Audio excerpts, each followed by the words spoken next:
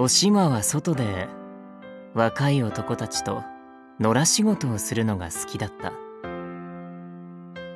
彼女は紙すき業を営む豊かな家の養女で裁縫やおことでもしていれば18の綺麗な娘で通していかれるのにそれをしなかった。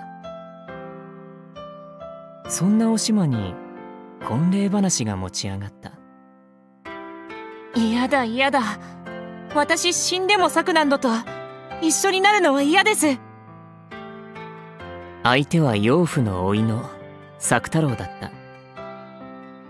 作太郎はヤクザ者の養父の兄と旅芸人の女との間にできた子でいじけて育ったのと発育盛りにこき使われたせいで皮膚の色艶が悪く。目に潤いがなかった。今日のうちに遠くへ行ってしまう私の妹よ。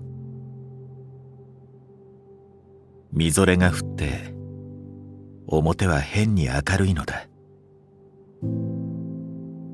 雨ゆじゅとてちてけんじゃ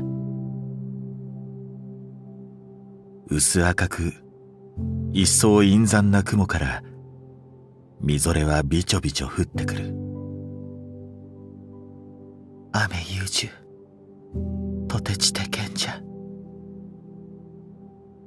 青い純菜の模様のついたこれら二つの欠けた答案にお前が食べる雨雪を取ろうとして私は曲がった鉄砲玉のようにこの暗いみぞれの中に飛び出した。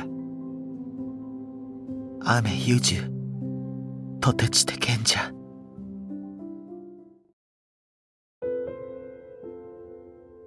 ああ寒い。ああ寒い。寒くてたまらんから。その中へ一緒に入れたまえ。